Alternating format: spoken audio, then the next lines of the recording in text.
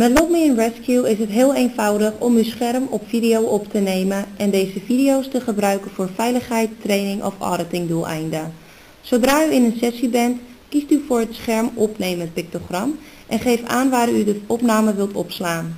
In dit geval zal ik kiezen voor mijn video's en vervolgens klikt u gewoon op start scherm opnemen. Nu zijn we een sessie aan het opnemen en alles wat we nu doen zal in een AVI-file opgeslagen worden in de aangegeven map.